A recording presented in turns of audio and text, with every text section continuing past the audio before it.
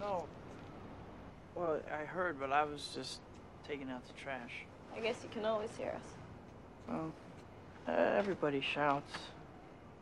Your aunt and uncle don't. They can scream pretty good sometimes. Listen, MJ, about today at school with Flash. You really freaked us out. I'm sorry. Is he okay? He's just happy you didn't give him a black eye for graduation. So where are you going after you graduate? I, uh. I want to move into the city. And hopefully, uh, get a job as a photographer, work my way through college.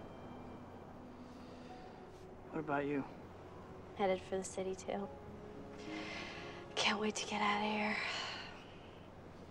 I wanna. What? Oh, come on. Try me. I wanna. act. On stage. Really? Well, that's perfect. You're awesome in all the school plays. Really? Yeah. I cried like a baby when you played Cinderella. Peter, that was first grade. Well, even so, sometimes you know people.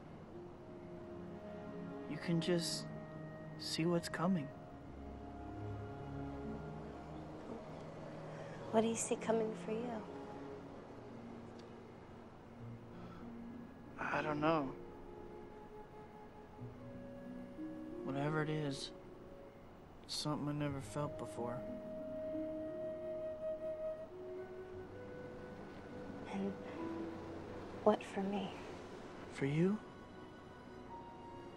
you're gonna light up Broadway. You know,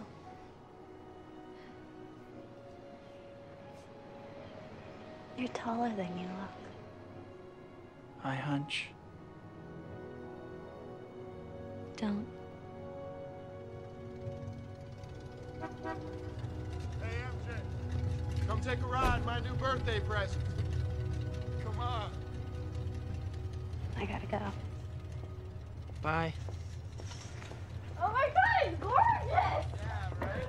Look at it! I'm in. Oh Pretty tight, huh? Wait till you hear the sound system. Hey, go scratch the leather. Cool car.